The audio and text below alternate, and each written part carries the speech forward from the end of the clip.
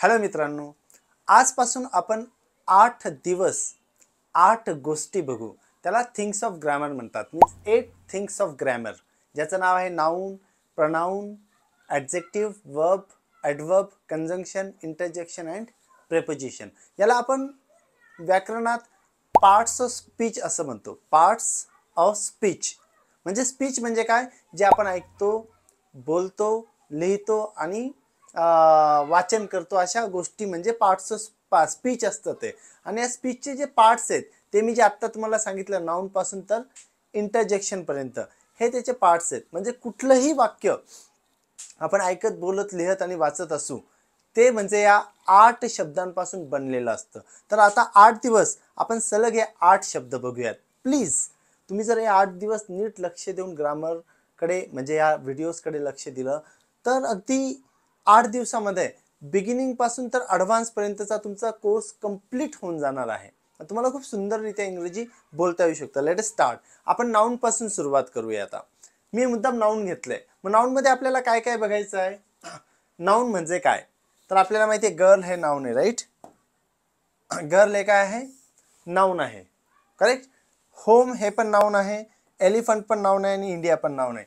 हे एका व्यक्तीचं नाव आहे. पर्सन्स नेम वस्तूचं नाव आहे प्राण्याचं नाव आहे आणि एका जागेचं नाव आहे. नो म्हणजे हे फक्त नाव नाही. या नावांपासून म्हणजे एक शब्द आहे फक्त.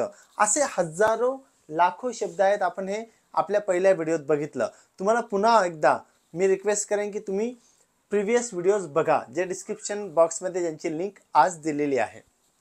या नाऊनपासून आपण तयार करतो नाऊन फ्रेज मग काय नाऊन फ्रेज तयार झाली? दॅट लिटिल गर्ल अशी. म्हणजे girl is an important word in this phrase या फ्रेजमध्ये गर्ल हा इम्पॉर्टंट वर्ड आहे. आणि त्याच्यापासून एक फ्रेज तयार झाले. तर फ्रेज म्हणजे काय? म्हणजे फ्रेज आणि सेंटेन्समध्ये काय फरक असतो? की फ्रेज हे दोनापेक्षा अधिक शब्द असतात परंतु त्यांचा पूर्ण अर्थ आपल्याला लागत नाही. काही प्रमाणात अर्थ लागतो परंतु पूर्ण अर्थ लागत नाही. म्हणून that little girl sweet home म्हणजे होमला आपण काय केलं? हा स्वीट ॲट्रिब्यूट लावला. एलिफंटला आपण काय लावलं? बिग हा ॲट्रिब्यूट लावला. यु नो आणि इंडिया ही जी जागा आहे या जागेला आपण काय लावलं? माय असं म्हटलं. म्हणजे हे आपण काय बनवल्या? फ्रेजेस बनवल्या. आता सगळ्यात महत्त्वाच्या मुद्द्याकडे आपण येतो आहे ते म्हणजे ह्या फ्रेजेसपासून किंवा या नाऊनपासून आपण एक वाक्य बनवायला पाहिजे. मग आपण एक वाक्य बनवलं. That little girl is dancing असं एक वाक्य बनवलं ते मी पुढे सांगतोय. आणि मग अशाच पद्धतीची वाक्य आपण इथे बघतोय.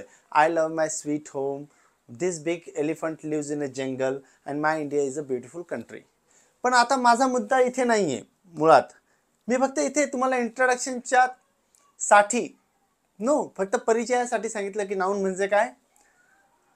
नाऊन फ्रेज म्हणजे काय? आणि नाऊन इन अ सेंटेन्स म्हणजे काय? म्हणजे आपण अधिक अधिक पॉसिबिलिटीजचा विचार केला पाहिजे नाऊनचा विचार करताना. मग त्या पॉसिबिलिटीज काय आहेत? आता आपल्याकडे एक पहिला शब्द होता गर्ल हा शब्द होता राईट त्याच्यापासून आपण एक नाऊन फ्रेज तयार केली. फ्रेज नो हे नाऊन आहे. करेक्ट आता आपण एक वाक्य तयार करू. मग वाक्य तयार करताना जास्तीत जास्त पॉसिबिलिटीज काय आहेत? त्या बघूयात आपण. याच्यामध्ये काय आहे? याच्यानंतर जर आपण असं घेतलं इज किंवा वॉज घेतला. The girl is in the wonderland okay सोपं करतो. The girl is in the bag that little girl in is in the bag that little girl was in the garden no म्हणजे मी काय करतोय? ती कुठे आहे किंवा कुठे होती तिची पोझिशन सांगतोय. दुसरं आपण घेतलं. दॅट लिटिल गर्ल इज आणि याच्यानंतर आपण क्रियापद घेऊ. काय घेऊ फक्त थोडक्यात? वब्स घेऊ आपण. Verbs. That little girl is dancing was dancing have been dancing will be dancing okay म्हणजे पाहिजे तेवढे शब्द आपण घेऊ शकतो. त्याचसोबत आपण काय घेऊ शकतो? दॅट लिटिल गर्ल बर सोबत आपण प्रेपोजिशन घेऊ शकतो. That little girl is on the top that little girl is in the room that little girl is above the desk that little girl is behind me that little girl is in front of me before me you know अशा पद्धतीने घेतो. आणि त्याच पद्धतीने आपण काय करतोय? That little girl नंतर आपण मोडल ऑक्झलरीज घेऊ शकतो. त्याला आपण हेल्पिंग वर्ब्स म्हणतो right that little girl should dance आणि मग can dance that little girl must dance आणि हे सगळं आपण शिकलो आहोत प्रिव्हियस व्हिडिओजमध्ये म्हणून वन सेकंड आणि आपण पुन्हा शिकतो आहेत. वन सेकंड आय से की प्रिव्हियस व्हिडिओच्या ज्या लिंक डिस्क्रिप्शन बॉक्समध्ये दिल्या आहेत त्या तुम्ही निश्चित बघाव्यात. आणि या पद्धतीने आपल्याला खेळता येऊ शकतं. आता दॅट लिटिल गर्लच्या ऐवजी मी जर असं केलं की that sweet home that sweet home असं म्हटलं.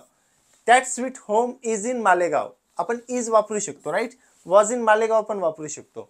पण इज प्लेईंग नाही म्हणू शकत आपण. नो कारण की ते इनॅनिमेट आहे. हे लॉजिक आहे भाषेचं. ते आपल्याला वापरता आलं पाहिजे. पण आपण असं म्हणू शकतो बघा this big elephant is dancing म्हणजे त्याला इज कुठे आहे? जंगलात आहे ते पण म्हणू शकतो. क्रियापद म्हणून डान्सिंग इज डान्सिंग असं पण म्हणू शकतो.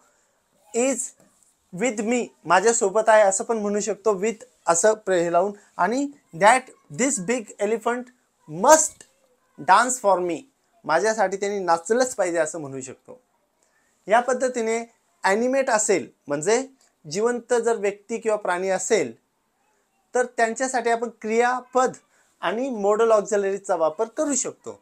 परंतु जर त्या वस्तू निर्जीव असतील तर आपण नाही त्या तसं करू शकतात ते फक्त कार्टून वगैरेमध्ये चालू शकतं. अशा पद्धतीने आपण बघू शकतो की जर जिवंत वस्तू असतील वस्तूचं जिवंत नसतं सॉरी जिवंत प्राणी असतील आणि जिवंत व्यक्ती असतील तर त्यांच्यासाठी आपण वप्स आणि मॉडल ऑक्झलरीज घेऊ शकतो. परंतु वस्तू असतील फक्त यु नो किंवा जागा असतील तर त्यांच्यासाठी आपल्याला वब्स आणि मॉडल ऑक्झलरी वापरता येणार नाही. आता आपण काय शिकलो आज? नाऊन आहे आपल्याकडे एकच शब्द आहे. त्या शब्दापासून आपण फ्रेज बनवली आणि त्या फ्रेजपासून आपण एक वाक्य घेतलं. आणि त्या वाक्य घेताना आपल्याला या चार गोष्टींकडे लक्ष द्यायला लागेल. पोजिशन त्याचं क्रिया काय करते ते काय करते आहे काय करते काय करत होती अशा पद्धतीने. ती कुठे आहे कशी आहे प्रेपोजिशन घेऊन आपल्याला ते सांगता येईल. आणि मोडल ऑक्झलरीचा वापर करून आपल्याला त्या व्यक्तीचा किंवा त्या प्राण्याचा मूड सांगता येऊ शकतो. पुढच्या भागामध्ये आपण यालाच पुन्हा कंटिन्यू करू आणि प्रोनाऊन बघू फक्त. म्हणजे आठ दिवस आपण फक्त आठच गोष्टी बघणार आहेत. पार्ट्स ऑफ स्पीचच्या आणि त्यामधून आपल्या भाषेचे सगळे प्रॉब्लेम्स सॉल्व्ह होऊन जातील. Thank you very much for watching this video तुम्हाला हा व्हिडिओ आवडला तर नक्की याला लाईक करा कॉमेंट करा शेअर करा सबस्क्राईब करा आणि बेल आयकन दाबायला अजिबात विसरू नका.